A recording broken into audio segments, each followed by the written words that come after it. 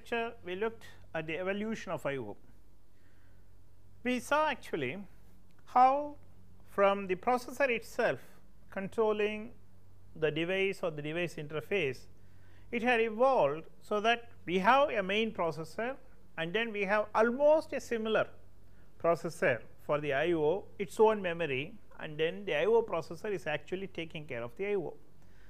And then we also surmised that possibly the evolution of IO would be in such a way that for each type of IO there can be one processor. Okay, this is what we were seeing. Now, let us take a look today at the IO devices, a few devices. Okay, really it is not uh, uh, a full coverage on all types of devices, just a few of them just to get some idea about what are the issues involved. So, that we may have a better understanding in a, uh, say for the study that is uh, preparing ourselves for a study of the bus that is interconnecting the CPU, memory and the IO. Good? Fine. Normally, while talking about the processor, I was always talking about the performance of the processor and how exactly for improving the performance of the processor, we had also looked at the hierarchies of memory is it not? For instance, the cache came in mainly to see that the CPU throughput will be more fine. So, essentially it is the performance that we are talk, talking about. To improve the performance of it, we will keep doing anything at the system level. Now, when we talk about the IO devices, how exactly we would characterize the performance? Okay. So, this is also something we will take a look at. Now, the moment we talk about I/O, essentially the rate at which the data flows. Now, this is one specific thing that comes to our mind, because performance in the case of I/O, uh, we will translate in terms of what we may call it as a throughput. In the case of uh, I/O, we have to specifically talk about the data throughput. Okay the data throughput which is uh, nothing but the rate at which the data can flow between say memory and IO. Okay, the data rate. Uh, this is something which is concerning about the flow between memory maybe directly or maybe under the control of the processor. We are not talking about the direct memory access here, flow between memory and IO. Okay. What exactly is the rate at which the data flow is there? So, the IO devices performance will be given in terms of that. So, we talk about high speed IO or a low speed IO or a medium speed and what not that is a range of it. Okay. So, that is one thing. Now, another one which is uh, related to this IO is invariably we will see that disk system is involved. Okay. Now, how fast you can access a given file because that file may be an input file or an output file okay, which you store in the disk. Now, when we talk about disk remember that it not only serves the purpose of storage, but also can serve as input and output device. So, it has a dual role now, in terms of these disk systems, we would talk about what is the rate at which the disk accesses take place. Now, this is another thing. Okay. The rate at which the disk can be accessed. Now, we will talk more about this particular one when we take up uh, the disk subsystem. Okay. So, the IO performance will be measured in terms of the data rate that is essentially which will give an indication about the flow rate of data between memory and the IO. Okay. As I said uh, when we say memory and IO it is not directly accessing the memory that is also one thing that is the fastest of course. The other one would be under the control of the CPU. Okay. right. The second one is the disk accesses. Now, when we talk about the disk access, what we have in mind is how quickly an input file can be accessed, how quickly an output file can be uh, generated. Okay. So, these are the things. So, we have two things to talk about. So, we will talk about this later because specifically we have to know something more about the disk before we can talk about this. So, I thought I would mention this uh, performance issue because ultimately uh, the main aim of a computer system design is to see that at the say with the least cost right what is the maximum performance that you can get from that overall system say from CPU, from memory or from IO. Okay. Finally, it will get linked to that and invariably you will find that the rate at which the data flows, the rate at which you can access a file. Okay. Now, all these things will play a role. In fact, uh, that comes again saying that fine with any of these with one processor this is the limit, then other issue will come fine. If that is the bottleneck, how about having more than one processor? does it contribute? For instance, in, in place of one processor, if you put two processors, does it help? Does, does the performance get just doubled or what? Invariably, you will find it will not. you will find a, a, a, a figure of improvement only by 1.6 to 1.8. It will never be 2 because we have two processors. Anyway, these are things we will talk about later. Now, specifically we will go into uh, some aspects of the IO devices per se, meaning this is uh, uh, well we are going to talk about some details which really we need not be very much concerned once you know about this okay that is the uh, the lowest level I will talk about and then I will say these uh, things are buffered right in the IO interface part and the system will not really look into these low level details good. Now, the simplest one would be to start with say keyboard the uh, first thing. Okay. So, just a set of keys forming a keyboard. Now, this is typically an input device because whenever we talk about an IO device these are the things that would matter what exactly is the unit and then uh, what type of transfer it is whether it is input or output and then uh, who exactly uses it. Okay. So, certainly a man will be using some human being is going to use this and then the third aspect is what is the rate at which the data flows. So, essentially these are the three dimensions along which any of these any of the devices will be categorized. That is whether the transfer is an input or output and who exactly is the user. I mean uh, meaning some of them may be uh, controlled by the system itself, the man may not be at the other end. Okay. Now, in the case of keyboard yes, the man is going to use it and the rate at which it flows. Okay. Fine. Now, keyboard we take it, what is the rate in fact we can say what is the keyboard after all it is not very much different from the typewriter. Okay. So, if you take it that at the rate of about uh, 50 words per minute, okay, this is about really on the high side, okay. maybe 60, maybe 70 it does not matter.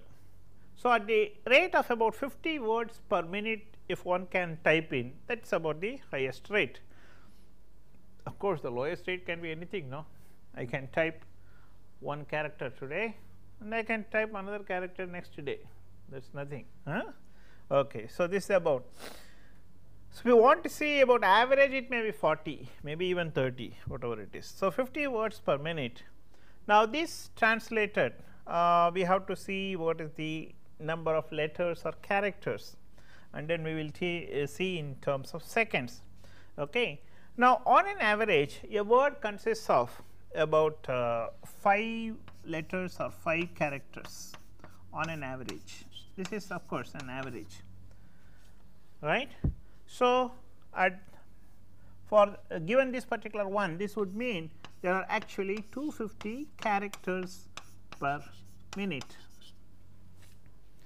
I will just uh, round this off to 240 you will know why uh, is approximately 240 because we have got a minute consists of 60 seconds no. So, approximately 240 characters per minute that is in other words 250 uh, 240 characters per uh, 60 seconds right that is minute.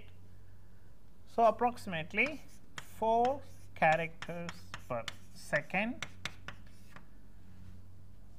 Now, a second consists of 1000 milliseconds. So, in 1000 milliseconds 4 characters what does it mean? Essentially uh, you take about 250 millisecond per character that is what it is agreed. So, what is the character just one key that is pressed. So, the subsequent keys that will be pressed there will be a delay of as much as 250 milliseconds right that is in 1000 millisecond there is 1 second there are 4 characters. So, 250 millisecond. So, in between two key presses. So, we can say every key press right key press on the keyboard right are talking about the keyboard now. So, every key that is pressed every key pressed on the keyboard uh, takes at least 250 milliseconds. So, this is the rate at which the data flows. So, that is how you arrive at it. Now, 250 milliseconds just imagine very long delay is it not it is a very slow one. There is plenty of time plenty of time for the processor to process right. If you assume that uh, uh, say you have a CPU hmm, which runs at uh, say 10 megahertz. Now, 10 megahertz itself is a very low frequency even we assume 10 megahertz. So, 1 megahertz would be 1 microsecond 10 megahertz will be 0.1 microsecond that is 100 nanoseconds. So, that is the state okay, in 100 nanosecond. So, suppose you have the, the program which makes use of about say some uh, uh, that is the, uh, the program which processes the input okay. because every key press must be linked finally with some character is it not some signal must be generated. So, which key has been pressed in the keyboard there is a program which will which will have to understand that right fine. Now, uh, this would mean uh, what did I say 1 uh, megahertz is 1 microsecond. So, 10 is 0.1 microsecond that is 100 nanoseconds right. So, for the state duration is 100 nanoseconds right. Suppose we have a program say which uh, uh, makes use of some uh, uh, say typically some 10 instructions okay 10 instructions are there in the keyboard uh, what is called uh, um, key input processing program that generally we call it keyboard routine the 10 instructions. Now, if each instruction say needs about another say some 10 states okay just assuming. So, 10 states so, 10 instruction that is for the whole thing. So, 10 instructions into 10 states that is 100 states are there okay 100 states the program goes through and each state state takes 100 nanoseconds. So, for the entire program to analyze which key it is how much is it. So, we have we are seeing 100 states into 100 nanoseconds. Okay. So, that will be 10 microsecond. So, to analyze which key has been pressed, now this is program execution time that is what it is the whole program. What is this uh, uh, program when executed? What is it? It means that which key has been pressed can be identified in a matter of about 10 microseconds and what is the time we have between two keys 250 milliseconds agreed so there is plenty of time from the this is so this is a really very low speed device input device okay? Fine. Now let us see with the keyboard mechanical arrangement we just looked at the uh, data transfer rate. Now, typically we talk about what is known as a matrix. Now, I will just assume a matrix of uh, 4, uh, 4 by 3 keys. And at the intersection of each of these I may put one uh, say key. Okay. So, if I put keys like this like this all over okay everywhere what are the two things represent actually say it's something like relay contact or whatever we call so when i press a key in this direction a contact is going to be made. A contact is going to be made. And uh, if i pass say if I return it to some voltage okay some uh, call it uh, some voltage V high then that particular thing is available on this line. Okay? That is I am energizing this line. Okay? I am energizing this line so when the key is pressed this particular one is passed through the key to this now this would indicate that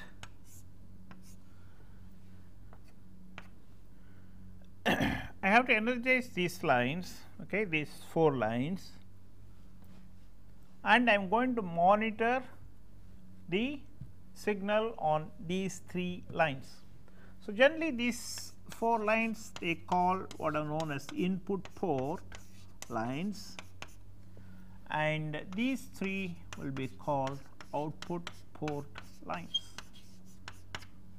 So, at the lowest level the program essentially consists of sending some signal here and then seeing what signal comes on what on which of these output port lines.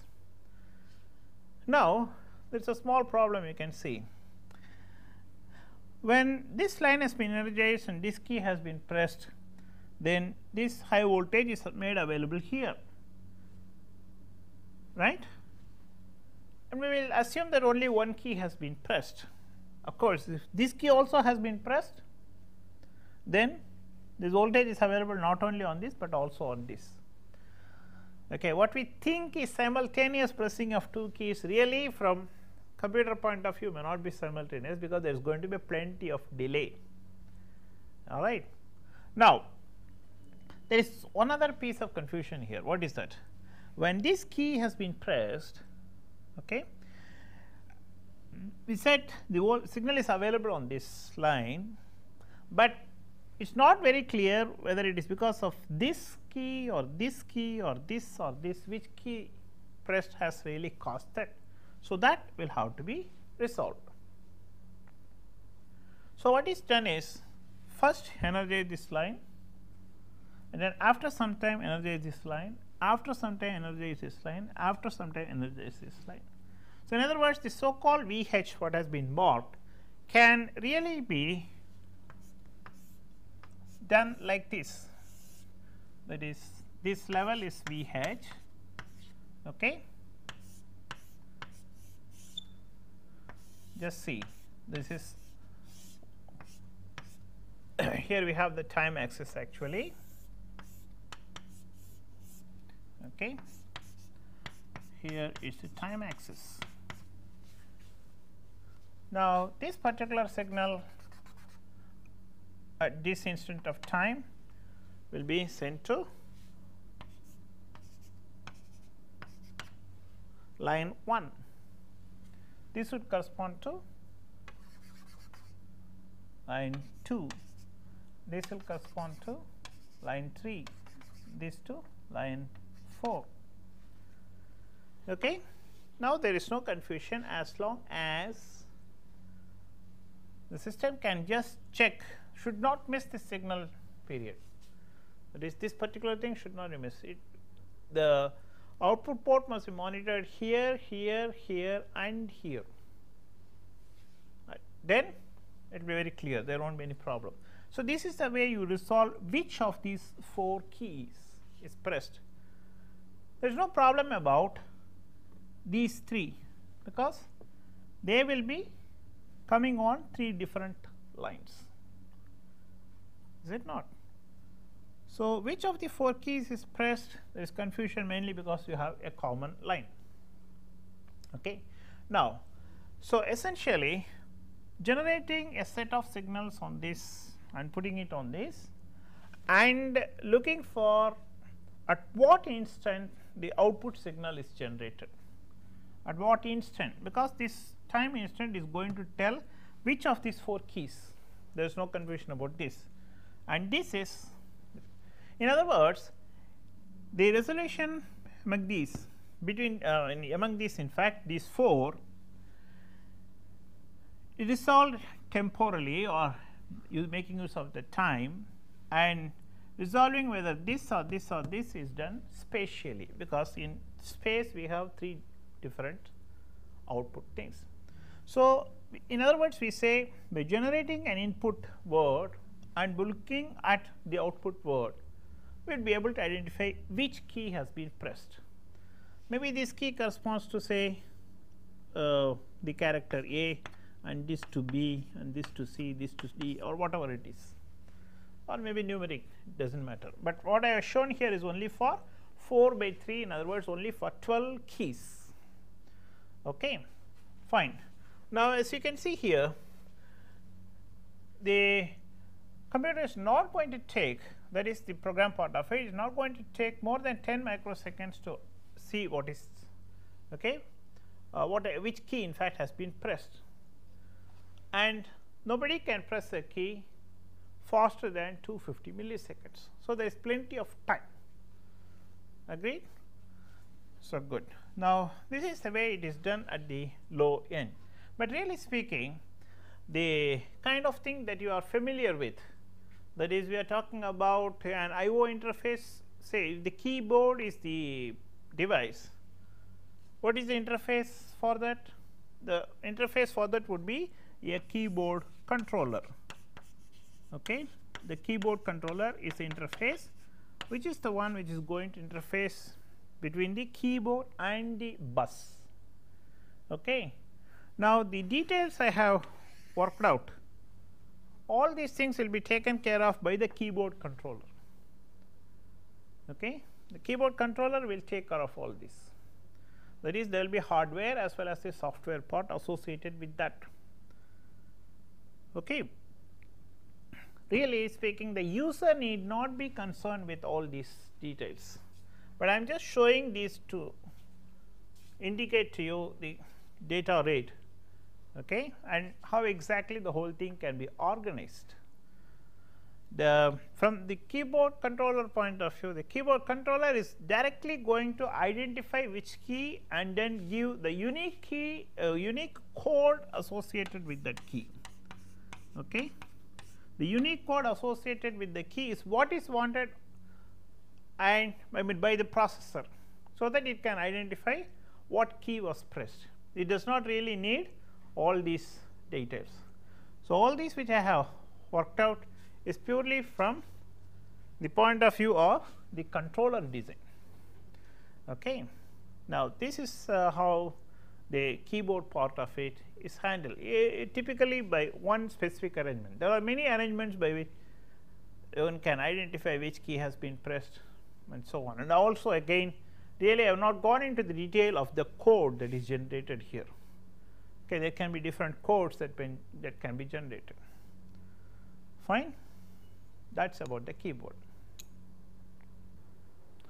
We were talking about the keyboard interface details.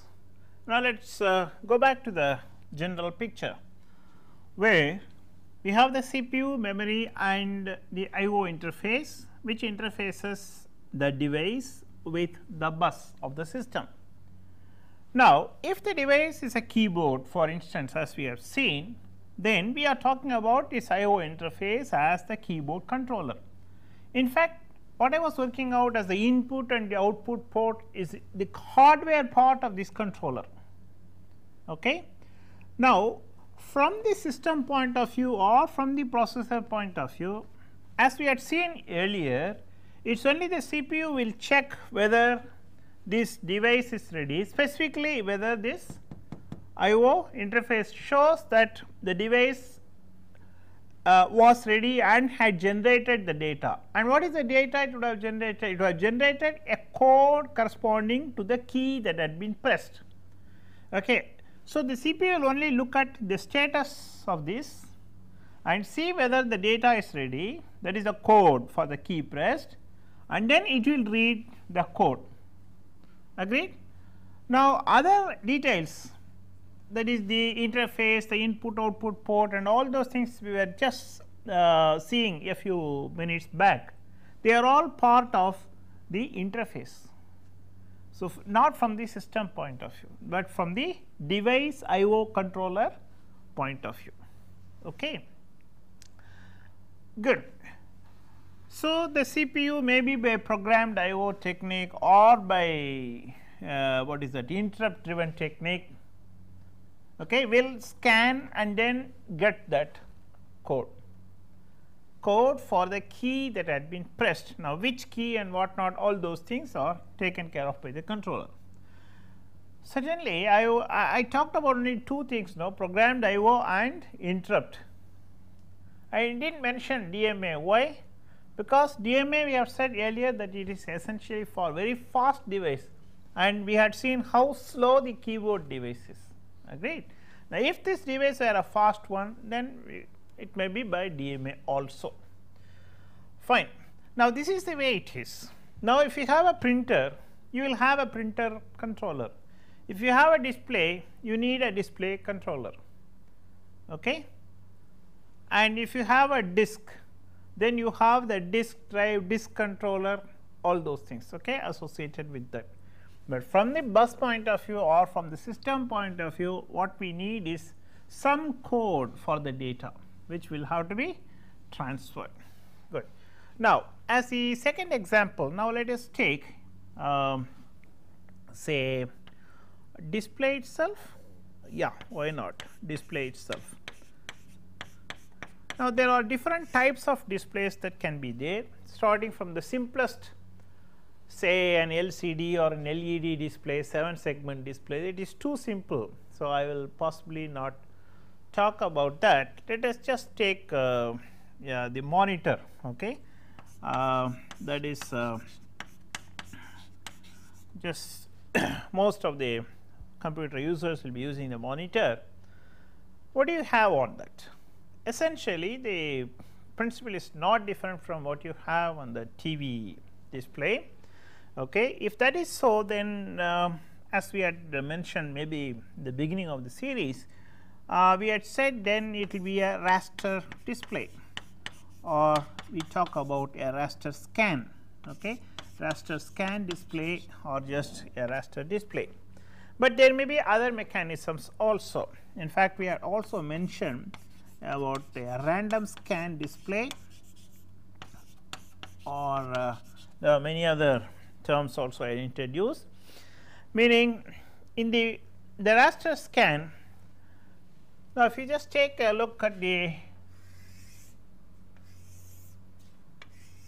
screen then you talk about a line of display okay that is just corresponding to a point and series of points on that I am going to just show you here with some space in between, but there may not be any space. Um, certainly, there may not be much of a space as shown here. And uh, then suppose on this display you have a line of display in the sense uh, line of I am talking about now character a line of characters then we would need quite a few of these raster lines. Okay. Now, generally when you take a character for instance say A or B or whatever this particular one can be expressed in terms of matrix say 5 by 7 and so on and then you can take those specific points. Okay. Suppose using yeah in fact I have just shown here 5 by 5, but better would be uh, better resolution will be with 5 by 7. Okay. Now, this particular one if I do it with uh, a 5 by 7 that is 5 uh, rows and uh, uh, sorry the other way uh, 5 columns and 7 rows. Okay. 5 columns and 7 rows then this would mean that I need 7 such raster scan lines on this okay? Fine. Now let us just take one line. Now this is how it's going and then that uh, scan line will come to the end and then it will go back okay? Not directly like that but uh, something more is involved in this. Now in the case of a raster scan now let us just take a look at ah, what is this? Uh, the three points uh, about any device I was saying uh, is an output unit. So, not like keyboard was input here we talk about an output unit and who is using invariably human beings use that and then the rate at which something can be shown. Obviously, okay, this particular rate at which the data must come. Now, this is the output we are talking about is it not. So, CPU must generate the data maybe CPU or maybe the display controller whatever whichever you call it. Okay. Finally, this is where we have now here we have the display and here we have the display controller. Now, if you have the raster scan display here what we are talking about is the appropriate controller for that. Generally, it is called CRT controller itself because it is cathode ray tube okay, not different. Now, so if for this particular arrangement in which the character can be shown now, for each line of display by that line what you mean not raster line, but what I am talking about is the characters line. That is a text line okay? Let us call it it is uh, say for each text line of display I would need a minimum of 7 such uh, this uh, uh, display lines plus at least one in between two text lines so, at least 8 maybe 9. Okay. Now, on each particular uh, okay, display line then there is going to be either an uh, illumination of that point or non illumination. In other words by putting somewhat like this okay, we are uh, uh, I, let me work out okay somewhat like this okay. Uh, yes. Now does it look like somewhat a now just imagine that these points will be closer. So this is how you generate the display. Now for the raster scan for normal this thing for the electronic uh, beam to go from this end to that end we can just say approximately it will take about uh, say 52 microseconds. Okay? And then for this to go from here to here it is going to take another 10 or 12 microseconds. Something like that. So, we say that that is this particular one swing back will be actually uh, that uh, display will be inhibited there in other words the blank part. This is in fact called a horizontal blank. Okay? Horizontal blank. I did not explain this earlier. From here when it goes there will be a vertical blank. I did not go into those details. So, nevertheless we can say that in a total of about 64 microseconds in total of about 64 microseconds we have to keep generating these points and then displaying. Otherwise the persistence of vision will come and then you will not be able to see that character anymore. Well, assuming that across this width of the screen I am going to have say 80 characters. 80 that is 80 letters. Okay? And already I have said that about there are 5 points I might need for each character in the, in the horizontal direction and at least I would need one extra for space between two characters. So, 5 plus 1 6. So, 6 dots into 80. So, I have 480 dots overall.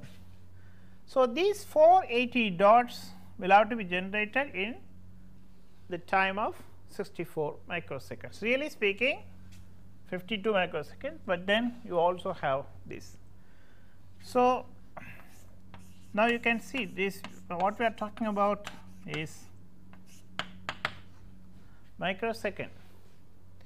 Okay, I have just taken one line that is somewhat like this, either this or this or whatever, just for that particular thing. Okay. So, like this it will have to be generated for what? There are how many? Let us say about 25 lines, 25 what lines, 25 text lines. Okay. Each text line or each text line will consist of these 7 is it not 7 plus 1 8 and so on so, all those things you have to really take that into account right at least one particular this thing huh? But really speaking this scan will be going line by line and finally it will come back. So, really we have got to take into account all these things while working out the speed.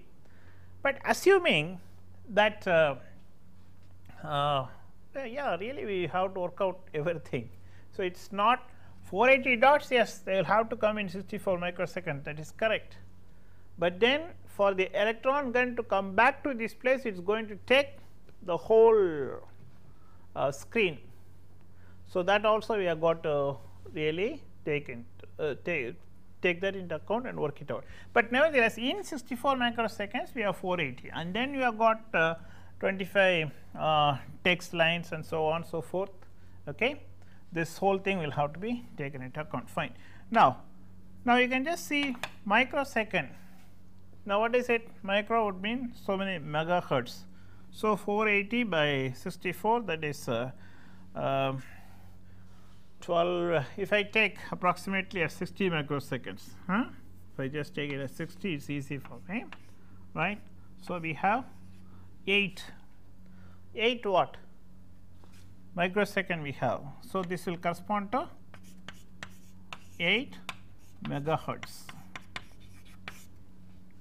So, this is the frequency at which these things will be coming. Am I right?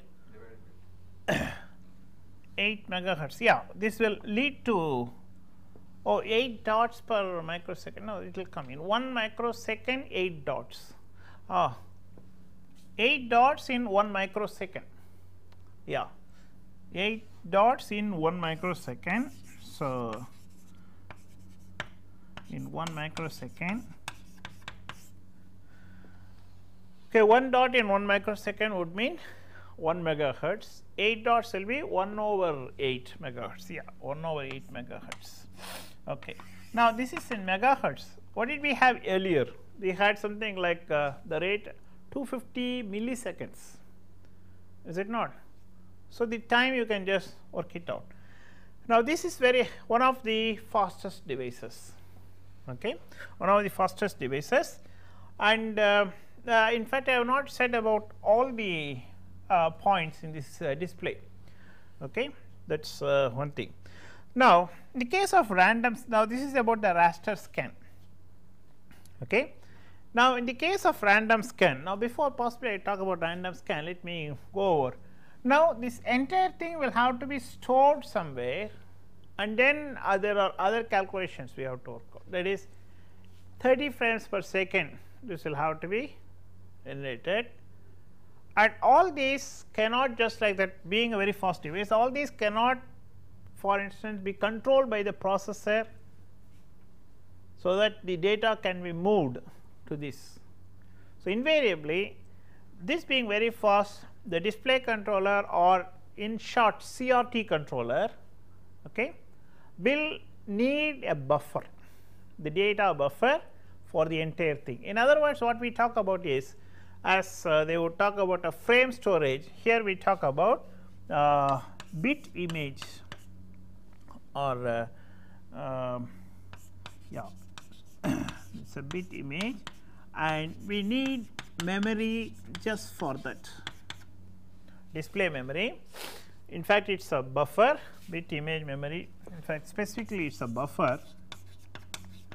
So, this storage in fact very fast storage will be needed as part of the display controller. Okay? And in fact here the CRT controller and the DMA will also be used because it is a very fast one the processor will not be generally be able to handle.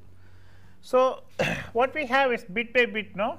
So, for the entire thing how many bits are there in other words whatever is going to be displayed each bit that is one RAM cell for each bit that is displayed that is what you would be having here um, that is uh, it is also called bit storage okay bit storage.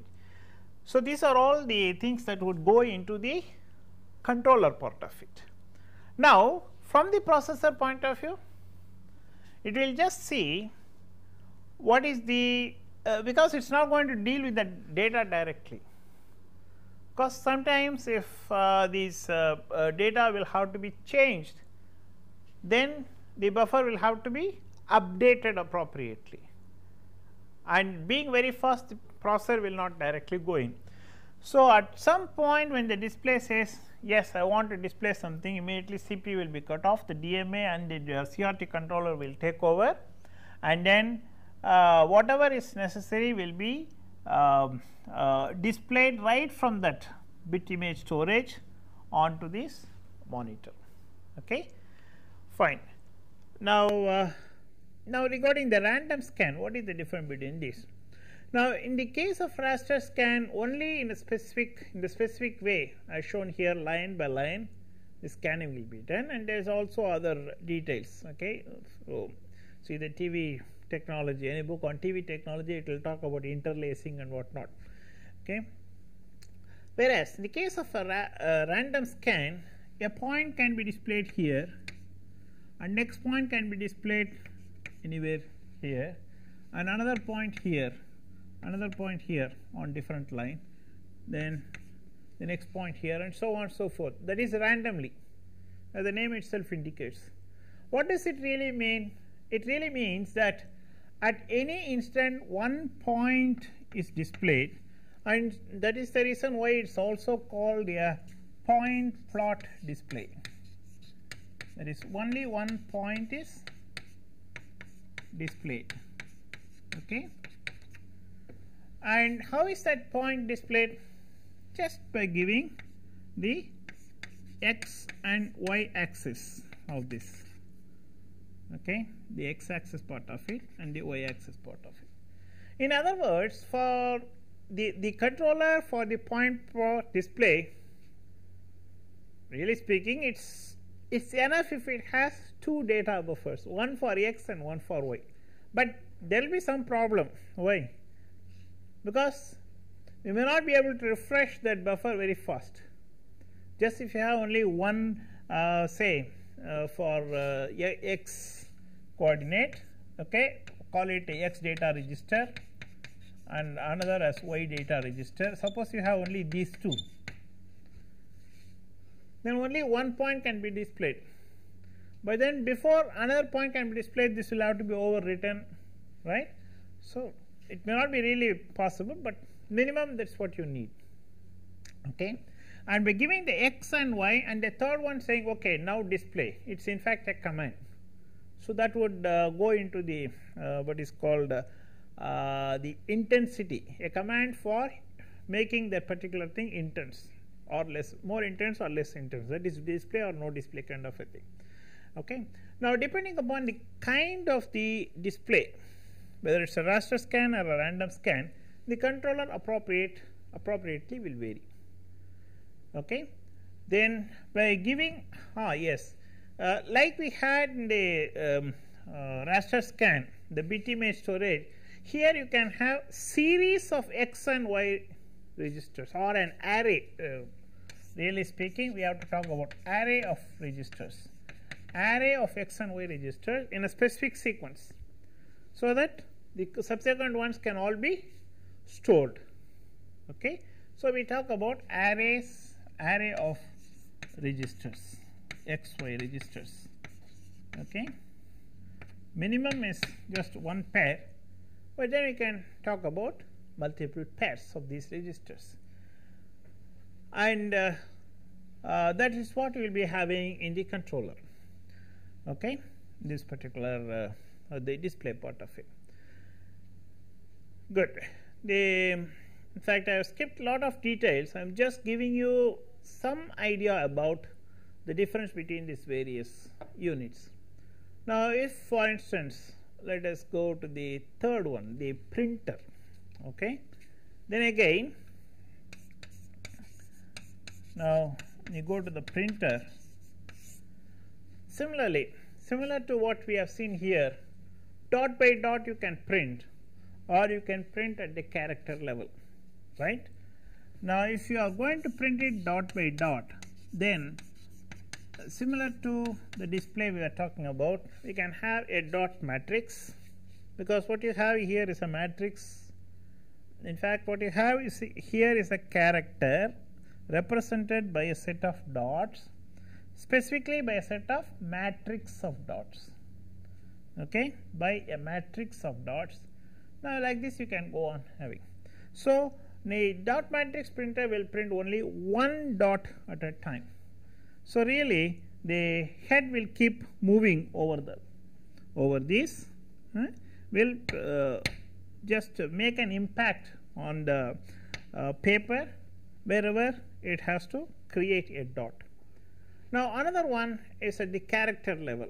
For instance, uh, um, say a line printer okay?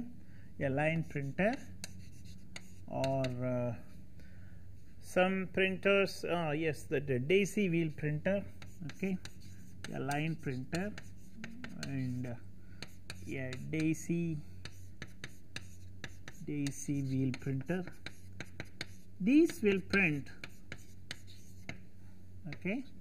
These will print at the character level meaning a code will go to the printer right?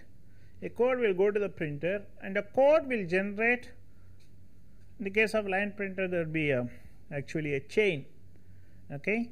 The chain consisting of uh, uh, on which you have these uh, various characters okay marked so that right under the print head the appropriate character will be positioned Similarly, the daisy wheel it will be rotating there will be many characters like this it will be rotated. So, that right under the print head whatever this thing comes it will be printing. Okay. Now, as you can see dot matrix, line printer, daisy wheel printer they are all impact printers that is finally a hammer will come and then we'll uh, okay. It makes an impact with the medium that is a paper on which the printing takes place. So you have other types of printers also. Now here you can see at the character level this is going on right? Whereas here it is at the lower level and that is at the dot level. Now, in general, what are the uh, characteristics of the printer? Printer is also an output device. Okay, obviously, the printout is going to be used by the human, but the output is going to be generated by the system. Okay, right? The printout will be used by the human, and then what is the rate at which it is done? Any essentially, it would involve some electromechanical thing okay. So, we talk about uh, different speeds right say 50 characters 100 characters there are also very fast printers certainly not more than say 200 300 that's about the limit okay? And then uh, how close the dot can be? Let's we talk about the resolution. So depending on that the speed also will keep varying now you can see that depending on the type of printer now here of course in the case of a daisy wheel or a line printer there is going to be the whole character itself available. This is very much like what you find on the typewriter, okay, that block. So the um, resolution of the um, uh, this thing will be very high. Uh, yeah, resolution will be very high. Now here, unless the dots are very close, we are going to have either a rough print or if that is a fine print or a um, what you may call as the rough print okay. So, it depends on uh, the spacing between the dots. Okay. Now, depending on the speed the rather the rate at which the printing must take place, okay, the data must be sent.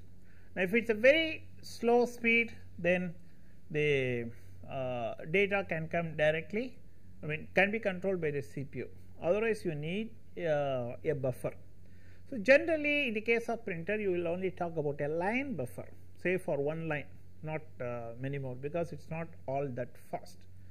Okay, we will say something more about these devices in the next lecture.